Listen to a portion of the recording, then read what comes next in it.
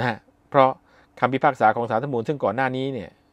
พิพากษาไปแล้วว่าล้มงานการปกครองการยุบพักจึงเป็นเรื่องปกตินะครับ สมควรจะยุบ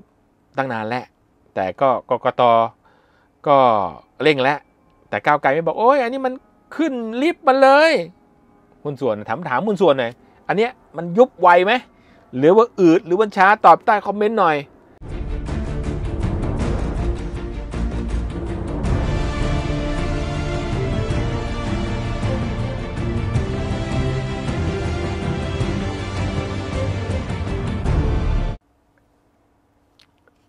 สวัสดีครับ มาพบกับผมเทอศักดิ์จิมกิจวัฒนาครับ วันนี้ก็สวัสดีหุ้นส่วนฮะที่รับชมทุกแพลตฟอร์มของสำนักข่าว V6 News นะครับ วันนี้ประเด็นที่น่าสนใจนะครับ ก็คงจะเป็นเรื่องของพรรคก้าวไกลนะครับ คราวนี้ศาลก็มีการกำหนดชัดเจนฮะเรื่องของการยุบพรรคก้าวไกล แต่ประเด็นที่น่าสนใจคือบางคนฮะก็มองว่าเอ้ยไม่มีการยุบแล้วพรรคก้าวไกลมีการพูดถึงเรื่องว่าถ้าเกิดในกรณีที่คำวินิจฉัยของศาลออกมาเป็นลบต้องยุบพักเนี่ยครับ มีการเตรียมพักสำรองเอาไว้แล้ว เพื่อรองรับกับสสยังยังไม่ถึงเวลาผมคิดว่าเรารอฟังคนที่สองยังไม่ถึงเวลาที่จะต้องตั้งพักใหม่หรือว่า ยังไม่ถึงเวลา ยังไม่ถึงเวลาที่จะคุยกันเรื่องนี้หรือว่ายังไม่ถึงเวลาที่จะบอกเลยนะครับยังไม่ถึงเวลาที่จะบอกกระทรวงหรือเปล่าจะมีภาพสำรองโอ้ยตอนหลังเขาบอกว่าน่าจะไม่ยุบแล้วมั้งนะครับเออแต่เราก็เออครับเราต้องมองบวกไว้เนอะ เรามีการเตรียมใจอะไรไว้ไหมคะโอ้ทุกอย่างตกผลึกหมดแล้วครับ ไม่ต้องเตรียมอะไรทั้งสิ้น เตรียมทำงานอย่างเดียวขอบคุณมากครับเฮ้ยวันที่ 8 สิงหาคมเราตั้งกระทู้สดนายก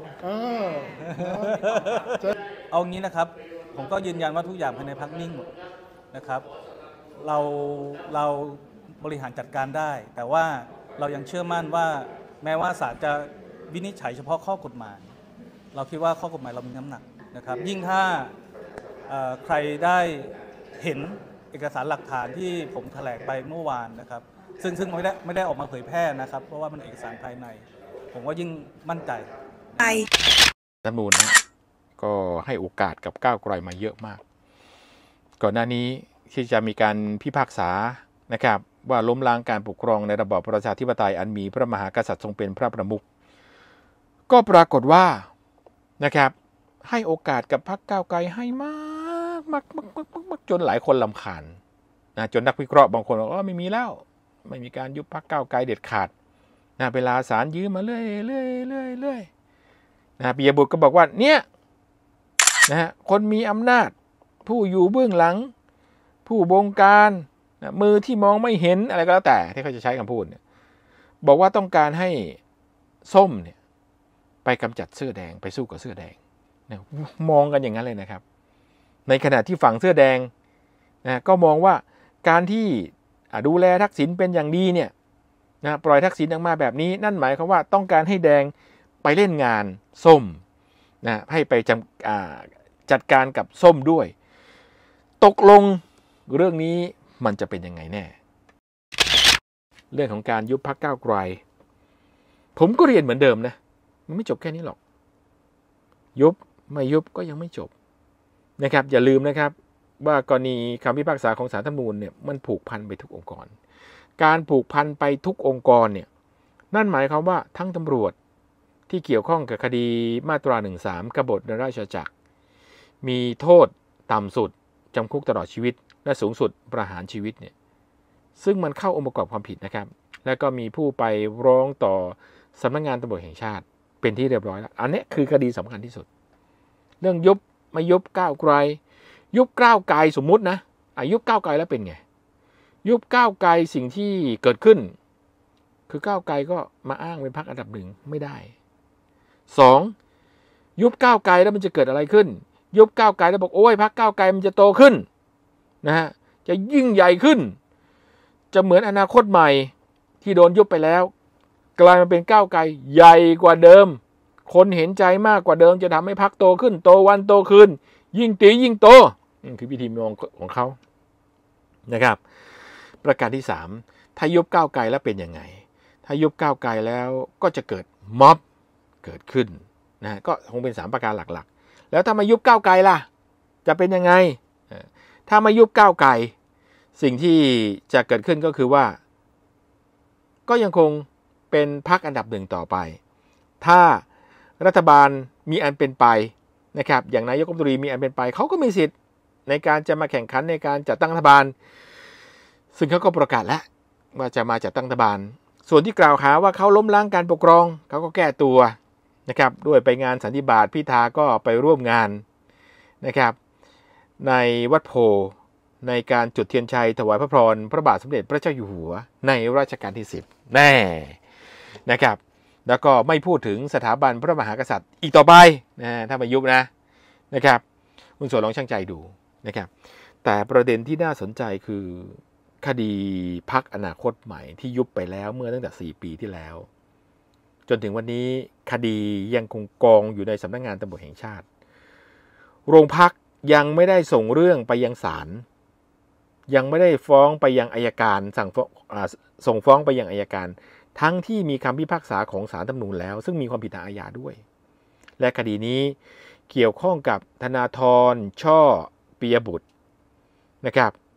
ซึ่งมีความต้องโดนความผิดทางอาญานะว่าง่ายไม่จบแค่นี้นะครับ ประเด็นที่น่าสนใจคือใครอยู่เบื้องหลังก้าวไกล ก็ต้องไปถาม อนาคตใหม่ ว่าอยู่เบื้องหลังก้าวไกลหรือเปล่า ถ้าเขาตอบได้ ใช่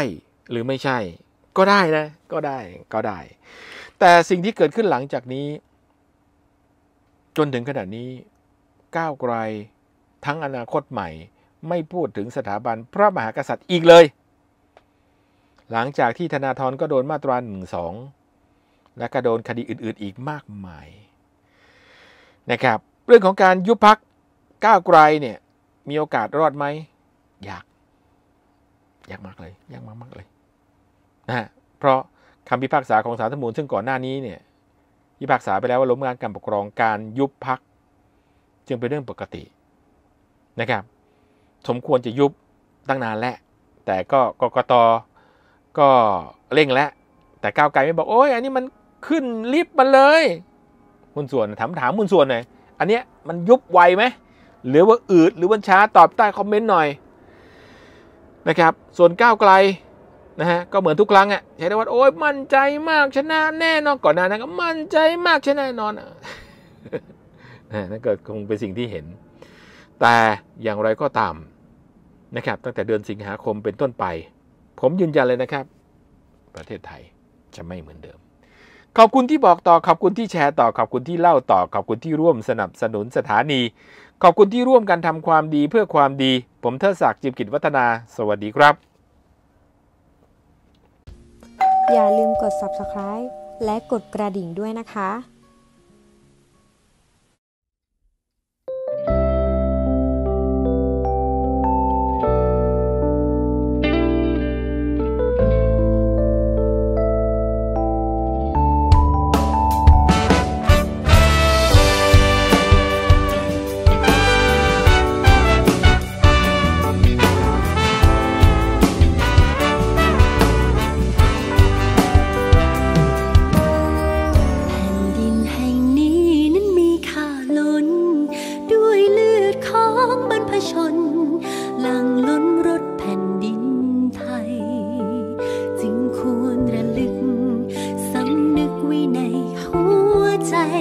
บุญคุณ